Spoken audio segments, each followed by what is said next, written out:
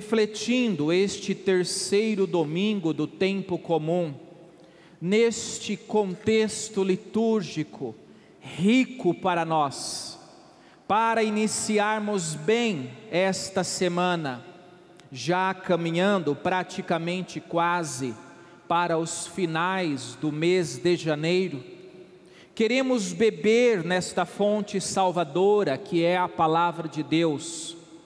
E hoje esta fonte salvadora está nos convidando, nos pedindo para que tenhamos atitudes de conversão. Como que estão as nossas atitudes referente aos ensinamentos que temos em todas as santas missas. Por quê? Porque se nós professamos uma fé, e de fato professamos, se nós falamos e nos intitulamos católicos, apostólicos, romanos, precisamos defender mais a nossa fé. Defender a nossa fé em todos os ambientes que nós estamos reunidos ou inseridos. E a conversão, irmãos, é algo muito pessoal. É meu, é seu, é de cada pessoa. Por quê? porque ninguém faz a cabeça do outro. Todo ser humano tem a sua liberdade, liberdade esta que foi dada por Deus, de graça e pela graça do Senhor. E hoje vemos na primeira leitura já este chamado à conversão. O profeta Jonas recebe uma missão, uma missão de Deus para que ele fosse aquela cidade a uma metrópole da época, uma cidade grande, e pudesse então não fazer a cabeça das pessoas, porque, como já falamos, ninguém faz a cabeça de ninguém, mas exatamente falar, pregar, dizer sobre a conversão. E estes habitantes, portanto, ouviram este pedido de Jonas, praticaram jejuns, vestiram-se de sacos, até os animais deixaram de comer, porque os donos não colocavam mais a ração para os animais.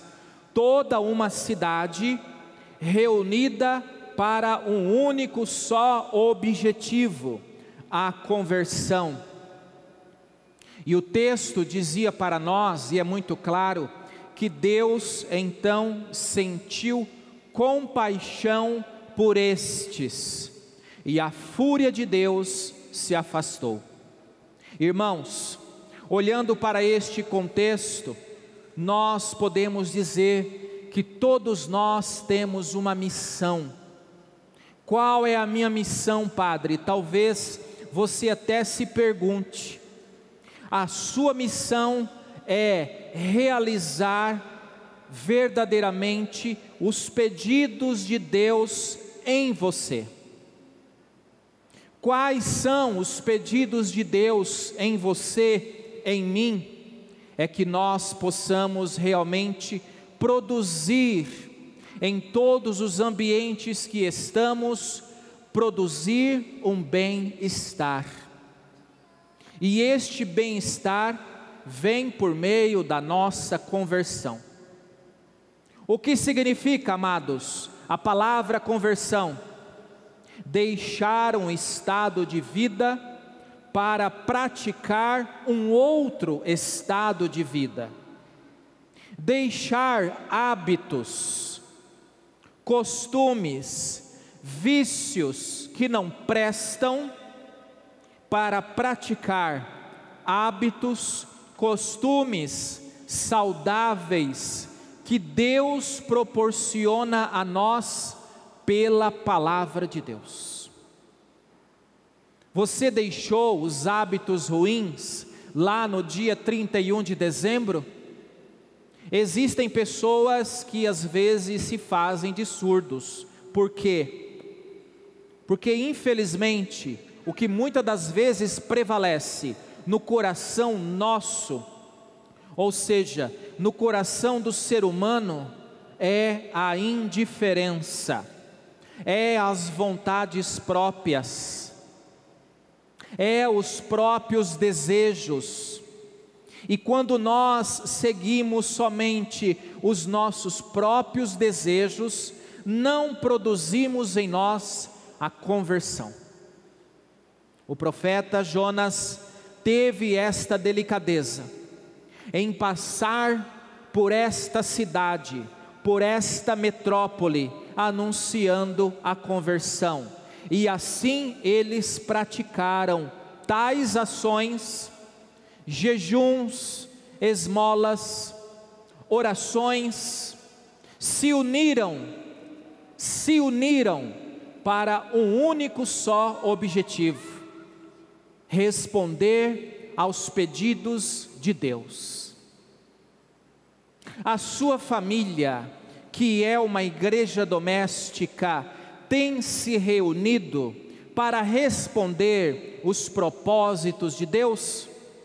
Muitas das vezes não, porque mesmo estando dentro de casa hoje, vivemos isolados. Isolados quem pratica a conversão tem diálogo. O profeta Jonas, ele ouviu a Deus, teve este feedback, este diálogo. Como que nós estamos conversando com Deus? Como que eu estou ouvindo os apelos de Deus aqui no meu ouvido? Às vezes não queremos ouvir os apelos de Deus, porque para ouvirmos os apelos de Deus requer renúncia, desapego de várias situações. Este povo praticou a conversão porque de fato ouviram os apelos de Deus por meio do profeta Jonas, um mensageiro, um profeta Deus envia mensageiros a nós para que nós possamos aprender com seus ensinamentos. A palavra de Deus dizia a nós exatamente isso, irmãos, dizendo assim, a primeira leitura: A palavra do Senhor foi dirigida a Jonas pela segunda vez. Mostra aqui neste texto a insistência de Deus com a humanidade. Deus insiste para que tenhamos uma conversão diária, contínua, verdadeira. E o texto ensina Deus dizendo a Jonas: Levanta-te, põe-te a caminho da grande metrópole da cidade de Nínive, anuncie-lhe a mensagem que eu vou te confiar. Jonas pôs-se a caminho de Nínive, conforme a ordem do Senhor.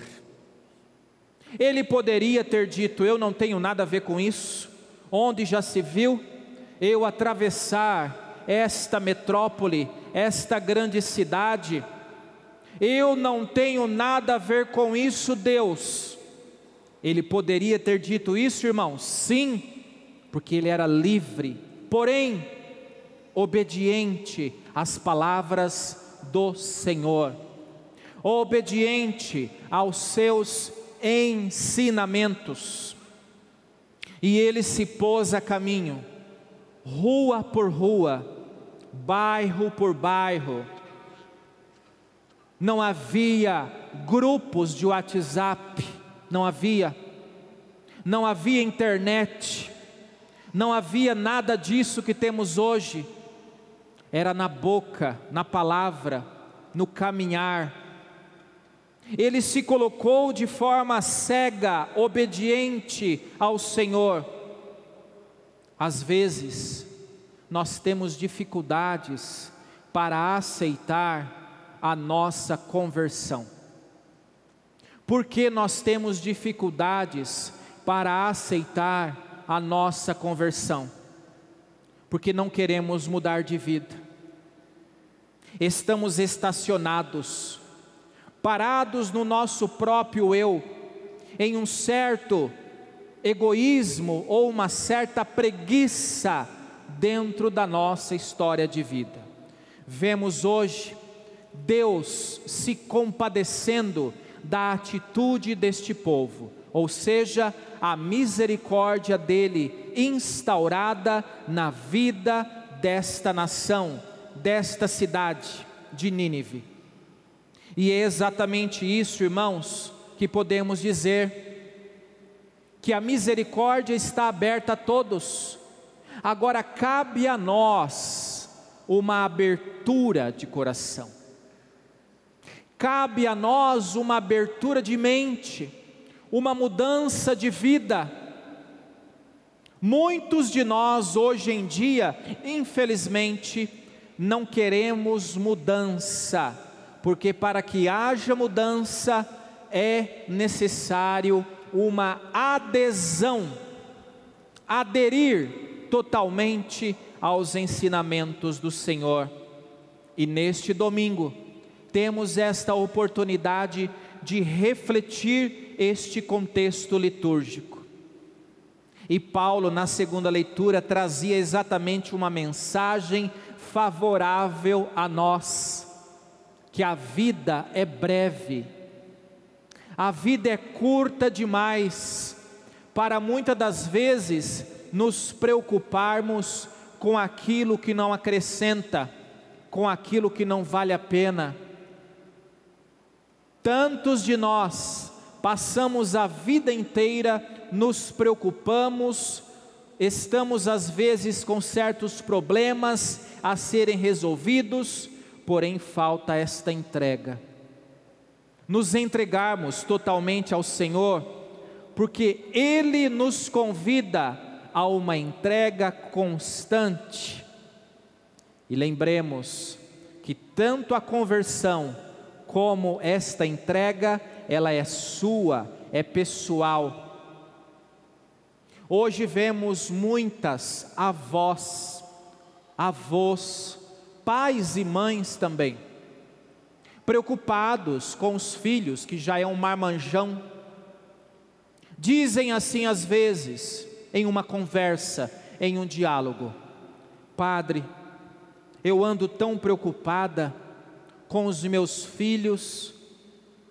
E a gente pergunta assim: Mas por que, minha senhora, a senhora está tão preocupada com os filhos? Padre, ensinei, peguei pela mão, levei à igreja tinha catequese, fez primeira Eucaristia, crismou, participou da comunidade, era coroinha, foi catequista, agora formou família, sumiu da igreja. Percebam, irmãos, o abandono da fé. Eu digo assim às vezes para estas senhoras, eu digo, minha irmã, enquanto você pôde, pegar pela mão, enquanto você puxou a orelha dele e disse: Você vai sentar no banco da igreja comigo.